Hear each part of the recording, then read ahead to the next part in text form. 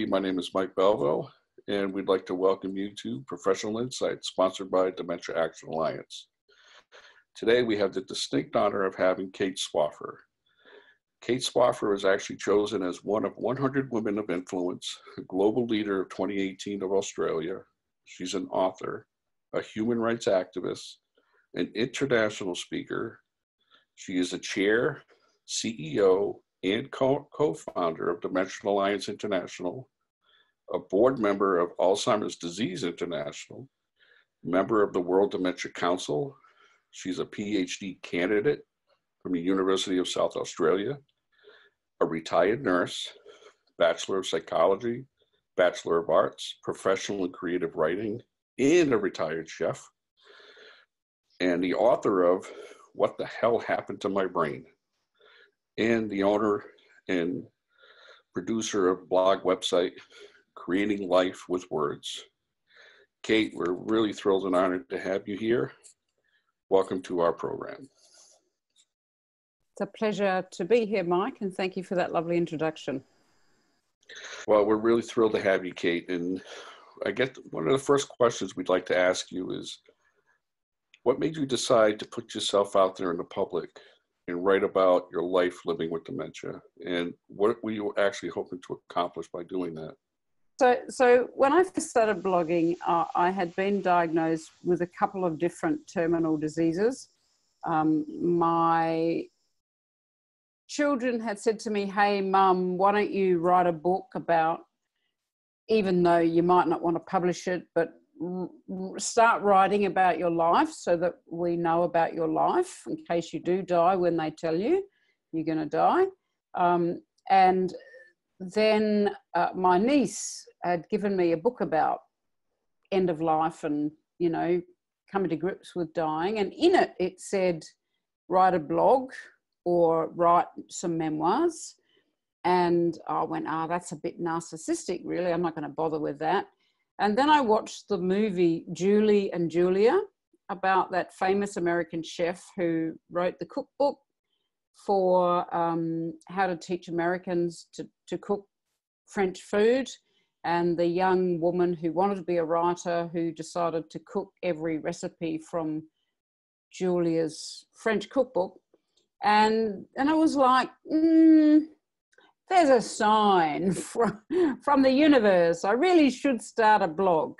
And uh, um, I had been writing privately, uh, just in a Word document um, about living with dementia, and it was clearly only for private consumption. And I had named the document "What the hell happened to my brain."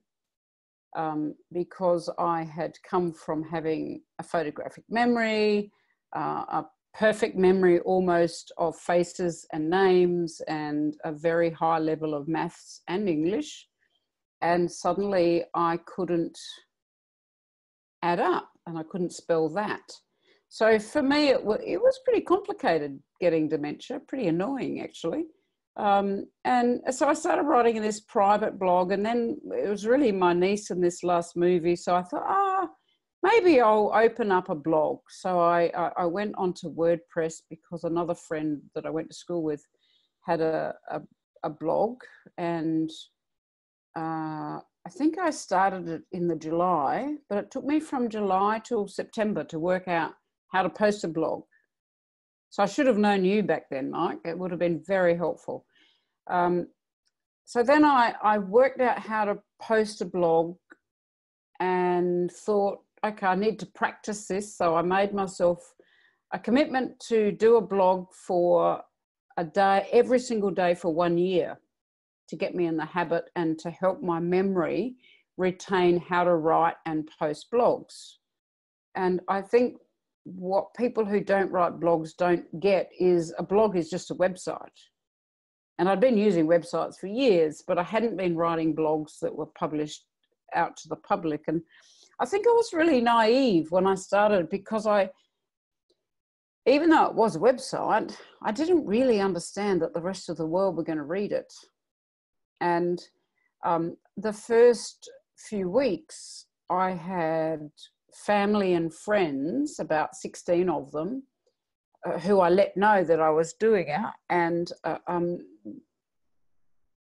it suddenly I suddenly realised that it had become almost like my memory bank, but I still didn't twig back in the early days that it was public. Even though I, I mean, theoretically I knew it was, but I hadn't realised what a public blog might turn into. And uh, my husband said to me, You know, it's really, you writing that blog is really fantastic because every day while he's at work, he gets my blog and he reads what I've been up to or what I'm thinking or how I'm feeling about dementia. And so instead of when he come, what he used to come home from work and say, "Oh, hi, you know, hi, Kate, how was your day? What have you been doing?" And some days I couldn't remember. So it was a bit of a like empty conversation. So then we could start talking about what I'd written on the blog, and whether it was what I'd been doing that day, or whether it was how I'd felt, or whether it was I don't know something else. It gave us something to talk about, and then suddenly it became this global conversation tool, and it's turned into a true global conversation. I mean, I've got well over a hundred thousand subscribers and occasionally one of my very original followers, um, I've got a, a, a chap in Western Australia whose dad died of dementia. He's from England. His family had told him not to come back to England to visit his dad. And then after his dad died, he felt really guilty that he hadn't been back to see his dad. So he still follows my blog and every now and then pops up with a comment, Oh, wow, that must be how my dad felt. And then there's this other guy um, somewhere in Australia whose wife had young onset dementia and she wouldn't talk to him about it. And she's still, I think she's still alive, but she's now in a nursing home. And he constantly pops up and says, Oh, that must be how my wife felt, or, you know, I wish she talked to me about that. I could have been a better husband, blah, blah, blah. So it kind of became this really interesting and useful conversation tool between people with dementia and our families. And then professionals started following it, and academics and students and all sorts of other people. So, you know, it's got a pretty big audience now. Uh, and I watch blogging is, it's a bit out there because even though I make it clear that what I say on my blog is absolutely just my opinion, it's just how I feel today, I might change my mind tomorrow. Um, people do pick on you. You know, like there's a few negatives about having a public online space. Um, and I watch new bloggers, and usually at about the three month mark, uh, a new blogger who might have been getting lots of positive feedback suddenly gets a heap of negative feedback to the point where sometimes new bloggers give up blogging. So it toughens you up. It goes, oh, well, you know, it's just their opinion. Who cares? My blog's just my opinion. Who cares? And um, so a kind of, in a way, I don't think I would have published a book had I not already been a blogger because it's pretty scary. At least with a blog, I can suddenly make it private if I want to, or I can go in and edit it. But once you've got a book out there in the real world, there is no going backwards. You've, it's out there for everyone to see and uh, you know there were i think in my first book there were five grammatical errors which weren't my mistake they were the editor of the publishing company's mistake but people picked on me for that had i not been through the negatives of blogging and having an online kind of space i don't think i would have coped too well with any negative feedback on a book. So it's kind of healthy in a way. Um, it has its blogging does have drawbacks too. Um, but I, you know i just think from my own perspective it's been great for my family it's been good for my friends and people with dementia and others tell me it's been helpful for them so i don't do it very often anymore because i'm too busy but um, when i do it usually gets a fair bit of traction so you know, it's an interesting experience. Well, I, I really appreciate that. I was listening, obviously, what you're saying and the negativity part. Um, having getting to know you personally and meeting you in person, um, they don't know who they're messing with when they're, when they're talking about Kate Swaffer. So, well, do you know, folks out there right now. The, there's the occasional comment that is really nasty. Yeah. And initially, I thought, oh, I shouldn't, because my comments that come in, I have to approve. And these days, sometimes because I might not be on my blog for more than a week at a time, people will think I haven't accepted their comment. So they send another comment and another comment, and they're all the same. Um, so people are getting used to the fact that I'm not quite such a daily blogger, but um, mm, I forgot what I was going to say, Mike. oh, I, I love dementia. About how they don't know who they're who they're messing oh, with. Uh, so what I started to do was, well, stuff the negative comments. That's just someone's opinion. So I used to put them up and then other followers would take them to task, not me. I didn't need to do anything. All I did was accept them and say, oh, that's thanks for your opinion, or thanks for letting me know that's how you feel.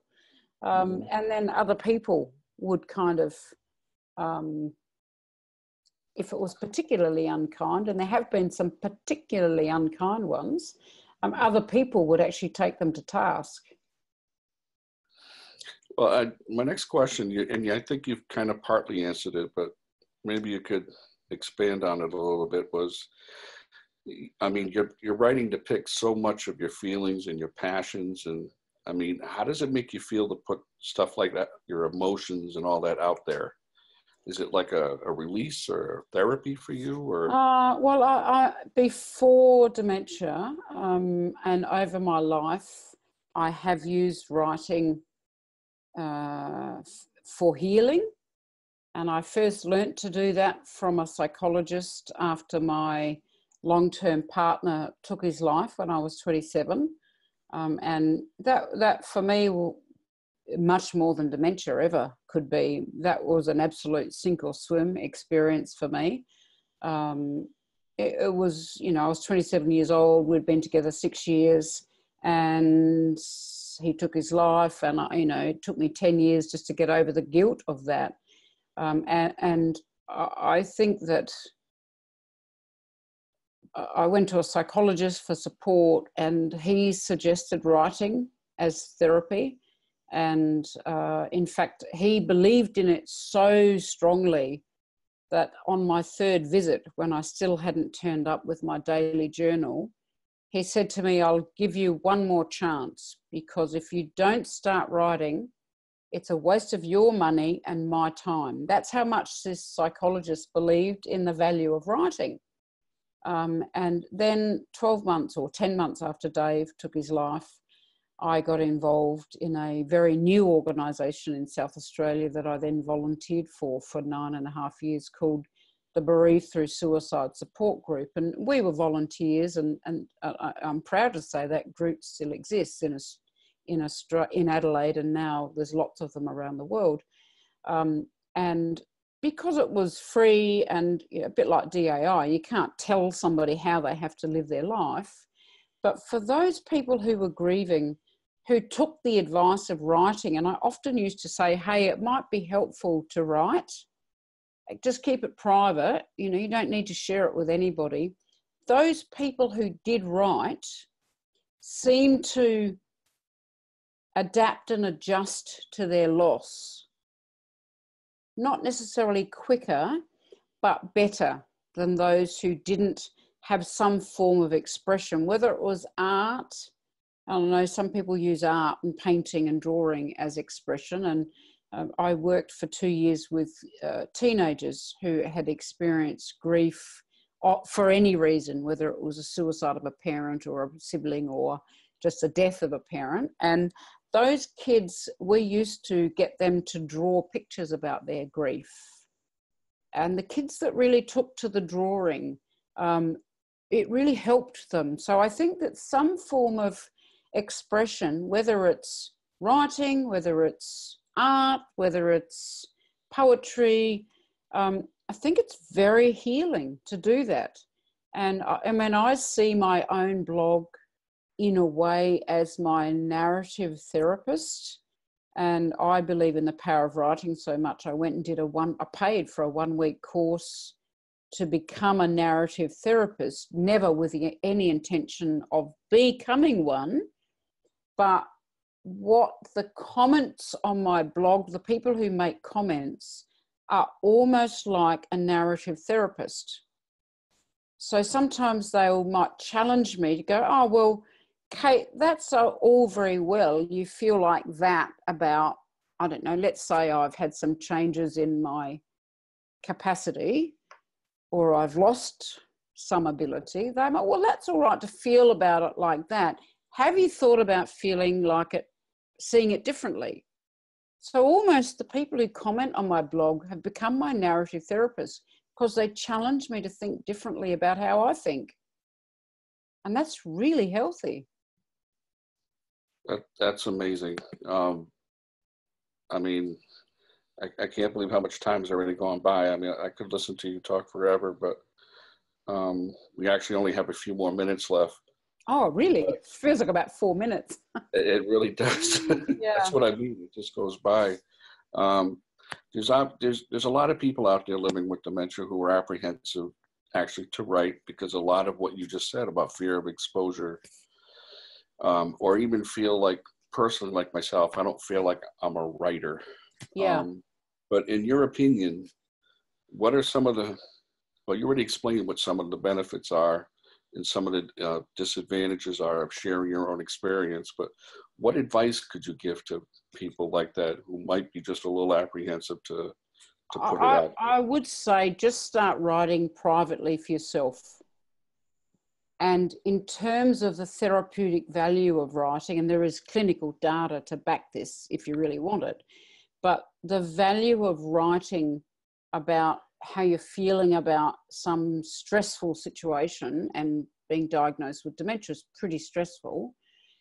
Uh, one of the real advantages of writing when it's just for yourself is to pick a time every day at the same time and within a few weeks of doing, and when I was doing this under the, uh, the advice of a psychologist, the rationale for having it at the same time every day, and I'm always an early riser, so for me it used to be five o'clock in the morning. For other people, it might be 10 o'clock at night, is when you're grieving and people don't give credit to how much grief people with dementia go through, when you're grieving, sometimes it can take over your life.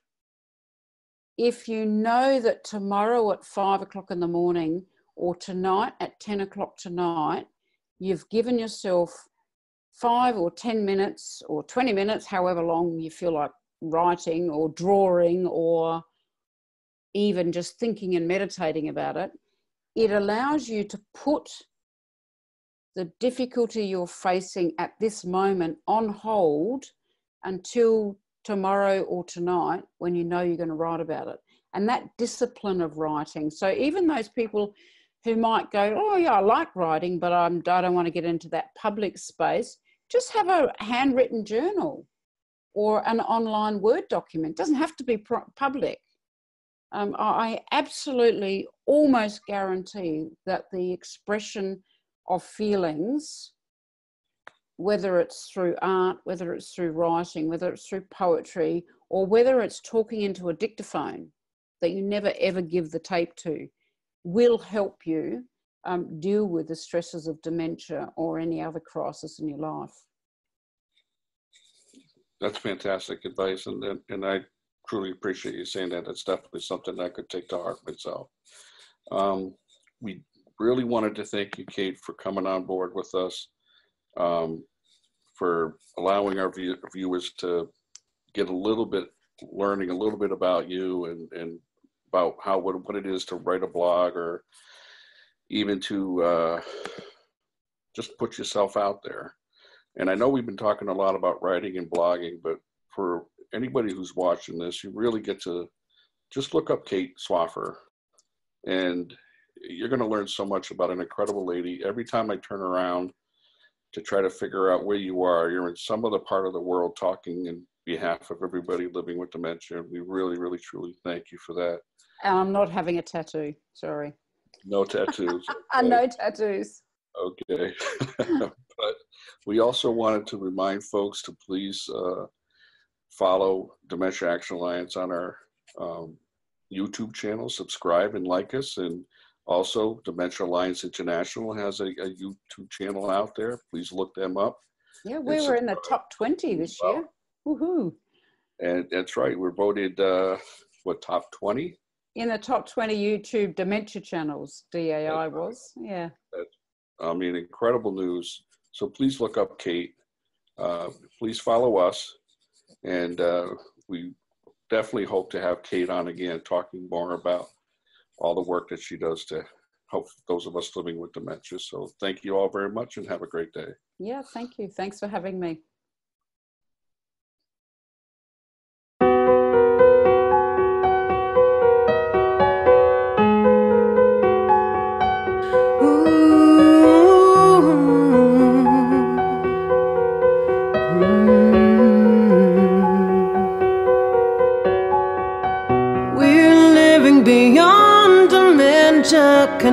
Our lives to help us survive. So we live our time to the.